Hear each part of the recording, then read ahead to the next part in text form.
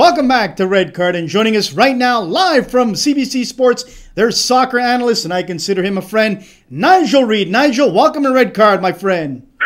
Hello, Anthony. Uh, happy New Year. Happy New Year to you as well, my friend, and Happy New Year to the city of Toronto and TFC fans. Let me tell you, Nigel, I'm born and raised in this city. I have never, ever, ever experienced a press conference like this today. The emotion, uh, the, the feeling from all sorts of supporters and just regular media people was something that I've never experienced before. Talk about it. Yeah, a bit of a media circus because the fans were there as well. But when you've got something big to celebrate, well, you want to celebrate in style. And Maple Leaf Sports and Entertainment have never been shy about making a big noise about uh, big signings. And uh, these are these are two big signings. Uh, uh and obviously, they these are the two players around which the uh, Toronto FC of 2014 and years to come uh, will be based, or so they hope. One to score goals, one to uh, you know get from box to box to shield the back four, and also to go forward as well. So yeah, great atmosphere, and let's hope that that uh, that good feeling continues into the season. It's obviously going to sell some tickets for them. Um, but, uh, you know, there's, uh, uh, as Tim Leiweke said himself, nothing's been won yet. Uh, they have won the race to sign Defoe and Bradley, and that's no mean feat in my book. And Nigel, you followed Tottenham for years. You know the media back home in England. They are cutthroat. I've been reading a lot of different uh, newspapers, been listening to a lot of people. They think that this move by Jermain Defoe is basically a retirement move. He won't get a sniff to England's World Cup squad. I got to disagree. Boy, oh boy, I'm really disappointed in some of the comments of them talking about MLS. You and I know MLS. It is not Premiership, it's not Serie A, but it's not as bad as they make it out to be as well. Yeah, I think there's a little bit of ignorance as far as that's concerned. I would agree with you as far as that's concerned, Anthony. Uh, it's a tough physical league. It's played in the summer uh, in in high heat, high humidity. There's a lot of travelling involved, uh, and I have to say that uh, I think uh, the European players coming here, and we've seen it with players like Marco Di Vaio, we've seen it with Kenny Miller, with many others. We often don't see the best of them uh, for their first year that they're here, and there's a reason for that.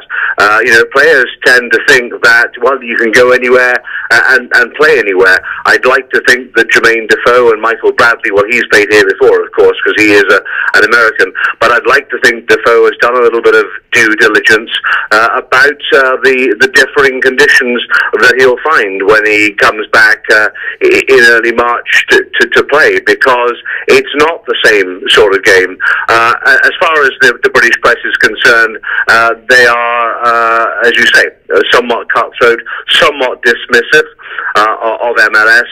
Uh, it's not EPL quality, of course, uh, but uh, Defoe has made a decision uh, based on uh, obviously financial uh, situation, but also on his his footballing philosophy. He made a point of talking about the fact that he'd spoken to David Beckham, who of course was the pioneer in terms of those Europeans back in 2007, and we all remember, you know, the the the, raised eyebrows uh, and the, the open mouth in surprise when Beckham announced he was leaving Real Madrid and uh, and, coming to, to, to MLS.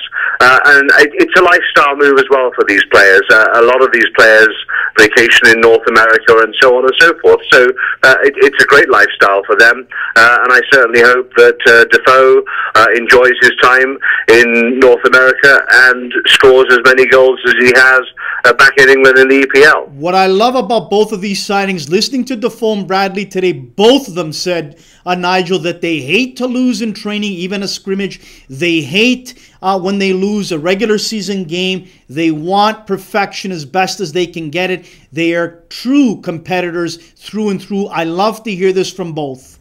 Well, they are competitors, and as such, they have to be leaders as well. Defoe, of course, uh, will answer one question, and that is uh, the problem that Toronto FC has had in uh, in front of goal for, for many years. He is a, an instinctive, quick poacher. He's got a he's got two good feet, and he's the sort of player who will finish off chances uh, when they come along. Uh, Bradley, for my money, has to be the leader on this team.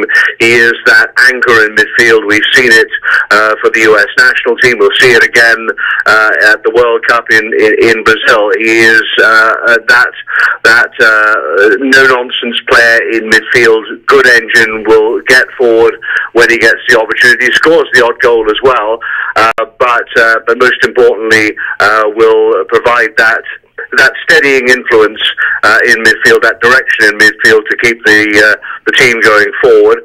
Uh, and let's not forget that these are players who ha- have over many years, Defoe in particular, and Bradley. I mean, he's been around as a professional since he was 16, uh, so he's now 26. These are players who have earned the respect not only of the fans, but more importantly, I think, of their opponents uh, and their teammates. So, you know, uh, when Bradley turns up in a TFC jersey in midfield in March and April, you know, other, other midfielders from other teams will know they're in for for a tough game because Bradley isn't the sort of player that pulls out of challenges. He's got a that never say die attitude, and that that certainly is one of the just one of the key ingredients that Toronto FC needs and hopes that it now has uh, in Michael Bradley.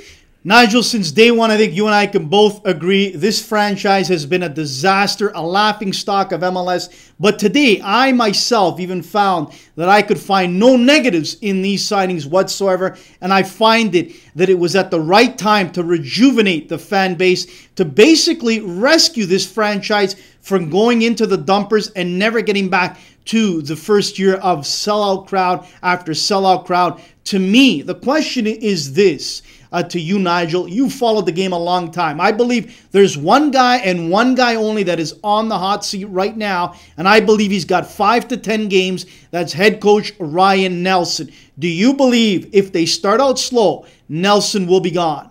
Yeah, without question, he has now the tools at his disposal. Uh, there are other issues to be addressed, and before we get on to Nelsen, uh, I would just uh, talk, talk, a little bit about the back four.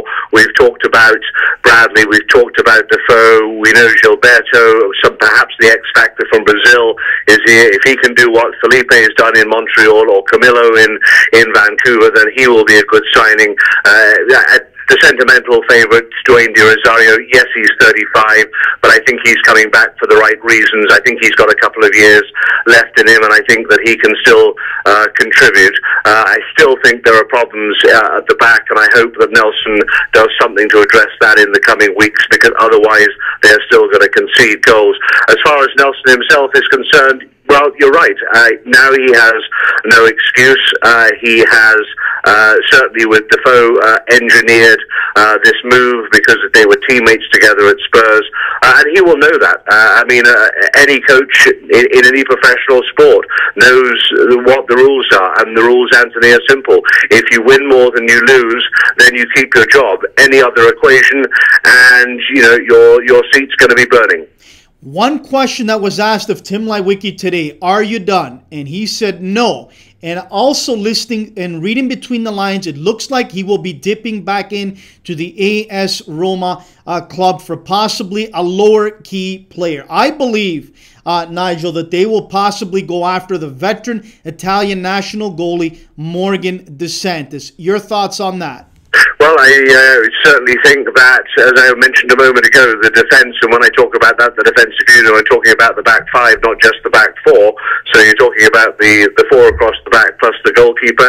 Uh, if you can get an experienced keeper in as well, uh, be it on loan, uh, then I think that is uh, to the credit of TFC, and that's uh, uh, uh, something that's uh, somewhat flown under the radar today. The fact that uh, Toronto FC have now uh, begun to build something that should have happened years ago, but I guess better late than never. Than never, they've begun to build solid, ongoing, long-term relationships with Tottenham and with with AS Roma. So young players from the TFC academy hopefully will have the opportunity to experience either England or Italy or both and you know, in a reciprocal way, you know, young players or perhaps more experienced players on, on loan deals will be able to come the other way. So from that point of view, uh, certainly it gives Toronto FC another avenue to investigate into deepening their squad in months and years to come. As we close it out, Nigel, I want your thoughts on uh, Red Patch Boys, the supporters of this team, TFC. I said since day one, these are the best fans in MLS. I, I, I got to tell you, it was incredible being down there today. The singing, the atmosphere. I mean, Larry Tannenbaum, one of the owners of Maple Leaf Sports and Entertainment, was just in awe. You saw all sorts of other people in attendance. Masai Ujiri of the Raptors, the GM. I mean, it was something of a celebrity status. And the Red Patch Boys singing and singing away Safe to say, Nigel, these are the best fans in MLS, what they've been through? Well, they certainly uh, have uh, patience uh, in abundance, and uh, we all know uh, the, the, the, stats don't lie that the, the crowds have been dwindling over the uh, last four or, or five years since since that original honeymoon. Perhaps this is the second honeymoon for Toronto FC, and certainly if Defoe and Bradley and the other new signings can turn this franchise into a winning unit, and let's face it, that's really all that matters. If Bradley and Defoe come uh, and play every week and Toronto FC still doesn't win, then the, the honeymoon, the second honeymoon, will be very short-lived. But uh, the fans have been magnificent. Uh, we all remember them from you know the first two or three years, and, and there's still plenty of them just just desperate, just desperate to see Toronto FC be competitive, uh, be a winning team. Let's not get ahead of ourselves, not start start making predictions about MLS Cup in 2014. But uh, certainly now they have uh, some new heroes uh, and uh, some fresh expectation, I think, for the season to come, Anthony. Nigel, you've been magnificent to join us here on Red Card. Keep up the great work at CBC Sports as their soccer analyst. What an exciting year, Nigel. The World Cup, MLS, all sorts of good things. Keep up the great work. And again, we thank you so much for joining us, Nigel.